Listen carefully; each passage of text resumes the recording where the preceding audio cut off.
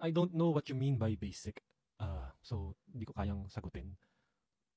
Pero siguro mga payo ko sa'yo is to have a high level, high level, yung ano lang, overview. Kung paano gumagana ang mga web services.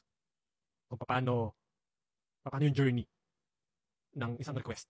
Nag-request tayo sa browser, di ba? Nag, nag uh, sabihin natin si, si user, nag-access ng website. So, that's a get request, di ba?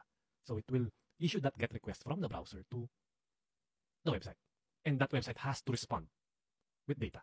Na, depende kung ano yung mangyayari. Kung get request naman, usually, uh, i-render yung, yung data sa browser. So, what you need, what you need to understand is na paano yung journey na yun. From browser to web server and back.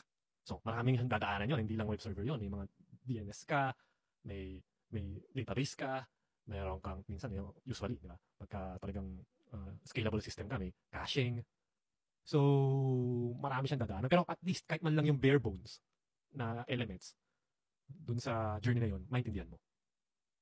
Kailangan mo talaga mag-gets yun. Paano yung request pumunta sa, sa server, pabalik. No? Ano yung nangyayari?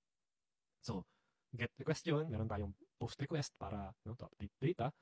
And meron ding put request. So, marami yan. Marami, marami naman mga HTTP methods na pwede natin tingnan. Pero, um, they have a lot of a lot, a lot, a lot in common na yun, di, ang ginagawa kasi talaga is no, it receives uh, a request from a client or in, uh, in this this instance is a browser, web browser.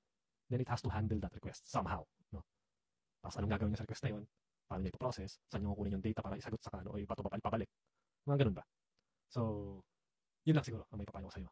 Uh, kung ano man yung basics na sinasabi mo, I don't know. I have no idea. So, yeah. Thank you.